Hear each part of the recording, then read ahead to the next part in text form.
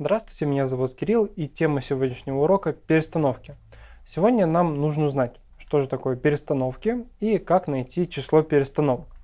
Начнем с определения. Перестановки – это простейшая комбинация, которую можно составить из элементов конечного множества. Пока не очень понятно. Давайте разберемся на примере. У нас есть три друга – Вася, Коля и Петя. Они пришли на экзамен по математике и выбирают, в каком порядке пойдут отвечать. Сколькими способами можно распределить их по порядку ответа? Давайте для простоты обозначим их по заглавным буквам имен В, К и П. Если отвечать первым идет Вася, то у нас получается два варианта. ВПК а, и ВКП. То есть идут отвечать Вася, Коля, Петя или Вася, Петя, Коля. Далее, если э, идет первым отвечать Коля, то у нас тоже получается два варианта. Либо КВП, либо КПВ. Ну и по аналогии, если первым идет отвечать Петя, то у нас получается два варианта ПКВ и ПВК. Таким образом, у нас получается всего 6 вариантов, как они могут пойти отвечать на экзамен. А, давайте сформулируем определение более понятно. Перестановки из n элементов. А, это каждое расположение этих элементов в определенном порядке.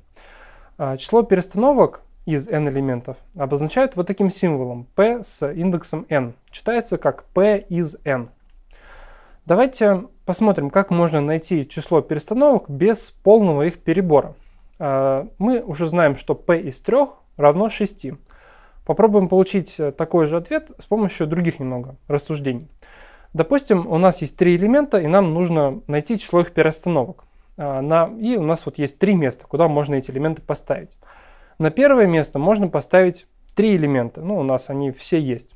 Далее мы на первое место какой-то элемент уже поставили. На второе место у нас остается два элемента.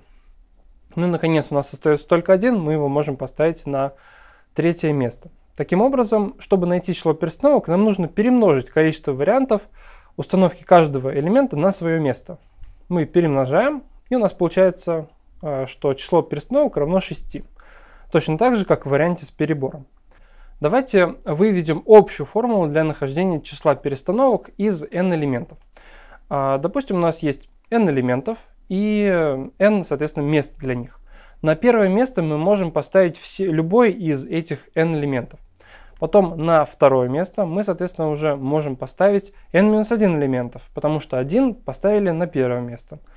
Аналогично на третье место мы можем поставить n-2 элементов, так как первые два мы уже установили на места. И так далее. На последнее место у нас всегда остается один элемент.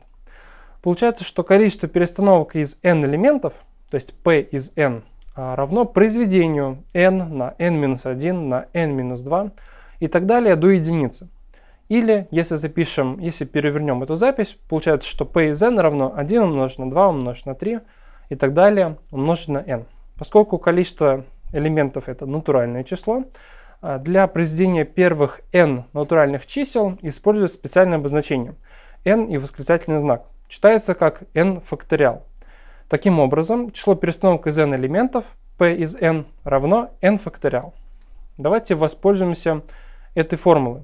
Нам нужно знать, сколькими способами можно расставить 5 участников соревнований по 5 стартовым дорожкам. Число способов равно числу перестановок из 5 элементов. Таким образом, нам нужно найти p из 5, то есть 5 факториал. Для чтобы найти 5 факториал, нужно перемножить 1 на 2, на 3, на 4, на 5. Перемножим, у нас получится 120. Значит, существует 120 способов расстановки спортсменов.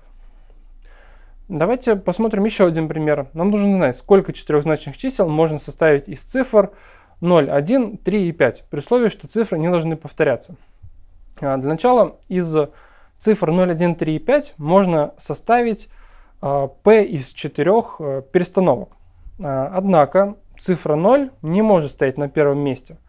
Поэтому нам сначала нужно найти количество перестановок из четырех, и потом вычесть из числа перестановок из четырех число перестановок из трех. Соответственно, все варианты, где 0 будет первая цифра. Получается, что нам нужно найти p из 4 минус p из 3, то есть 4 факториал минус 3 факториал. Здесь удобнее посчитать. 4 факториал это 24, а 3 факториал это 6. Получается 24 минус 6, то есть 18. Итого можно составить 18 таких чисел.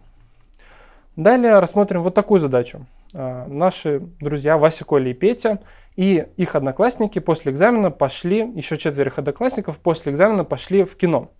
И э, хотят сесть на первый ряд, но Вася, Коля и Петя хотят сидят, сидеть вместе. Нам нужно узнать, сколько есть э, способов их рассадки, с учетом того, что в первом ряду 7 мест, то есть ровно по количеству ребят. А для начала нам нужно рассмотреть, как они могут сесть, э, Вася, Коля и Петя, относительно остальных. Для этого мы будем рассматривать их как одно целое. Получается, на первом ряду, в котором у нас уже теперь 5 а, мест, должны сесть четверо одноклассников и компания из Васи, Коли и Пети. То есть нам нужно найти количество перестановок из 5 элементов, то есть P из 5. А, далее, а, для каждой такой перестановки Вася, Коля и Петя могут меняться местами. Соответственно, мы должны еще найти количество перестановок из трех. И далее перемножить количество перестановок из 5 на количество перестановок из 3. Таким образом, у нас получается это 5 факториал умножить на 3 факториал, то есть это будет 120 на 6 или 720 способов их рассадки. Вот. Давайте подведем небольшой итог. Сегодня мы узнали, что такое перестановки и научились находить число перестановок. Спасибо большое за внимание и до встречи на следующем уроке.